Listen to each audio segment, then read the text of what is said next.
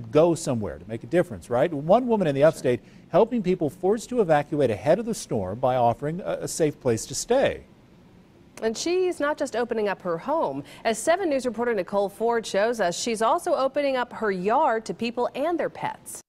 In the eastern side of Anderson County, you'll find the Barefoot Farms of Belton. Uh, and I'm Tim Jester. He was born on April Fool's Day. And the woman who runs it all, Kathy Whitby.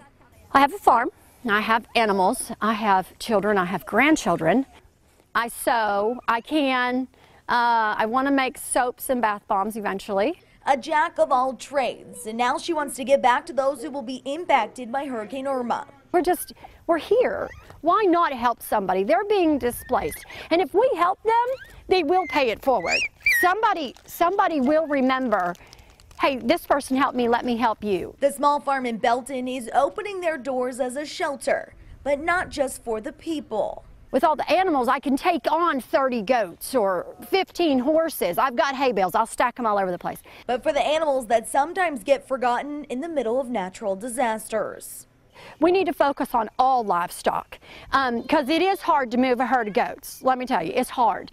Whitby hopes her generosity sparks a movement of farmers helping farmers. There is this need how to take care of your animals. And most farmers probably don't think, oh my gosh, I can, I can put all my animals in this field for right now and open this up. You're only going to borrow it for a week. It's not like they're going to be here for a month. And whether you have a herd of cows, pigs, Hi, piggy, piggy, piggy, piggy. Or even just dogs. The Barefoot Farms of Belton says no to no one, and they welcome you to seek shelter with them. He says hi. In Anderson County, Nicole Ford, 7 News.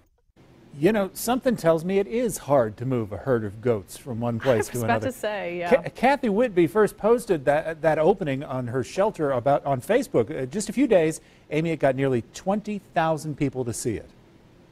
That's amazing. She's hoping that people will spread the word so those who really need this land will know where they can go. A local campground also